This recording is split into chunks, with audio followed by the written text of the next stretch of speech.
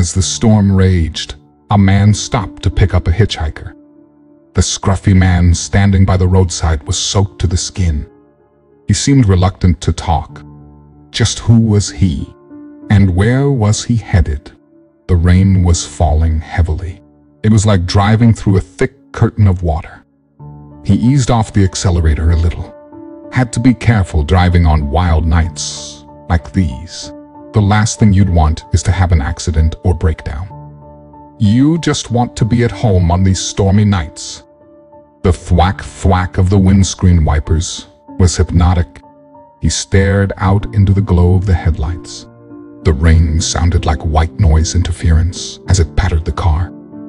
He was reminded of the opening scenes of a Hitchcock film. Through the wash of the rain, he spotted a figure at the side of the road. Person wore a green parka and had their thumb jerked out. Why on earth would anyone be traveling tonight? Surely you would just stay put until the morning. They must have been in a rush to get where they were going. He signaled down and pulled over. The hitchhiker climbed in. He shut the door quickly glad to be out of the rain. He pulled his hood back and sighed. He was somewhere in his mid-twenties and had wild red hair and a thick beard. Awful night, eh? said the driver. The hitchhiker held his gaze for a long moment. Drops of rainwater trickled down his face. Yes, yes it is. The driver pulled out and continued through the storm. The hitcher glanced over his shoulder into the blackness behind them. You okay? The hitcher simply nodded. They drove on in silence for a short while. The BBC radio phone is blaring out from the car's speakers filled in for conversation. They listened to the radio and their own thoughts as they moved on. Where are you headed? asked the driver. North, the hitcher pointed. Are you traveling to visit friends? Mom, the driver couldn't tell if that was a yes or a no.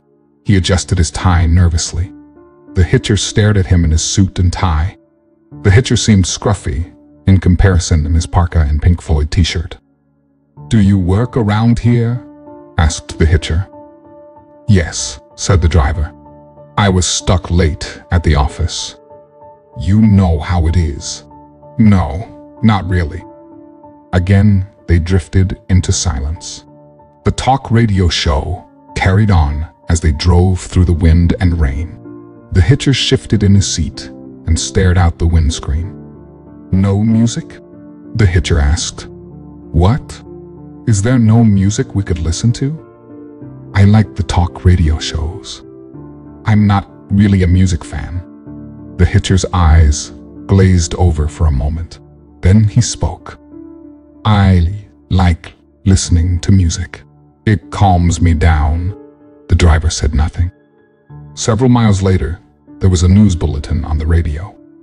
The reporter tried to remain professional as she read the announcement. We are getting reports that a patient has escaped from a Manchester psychiatric institution.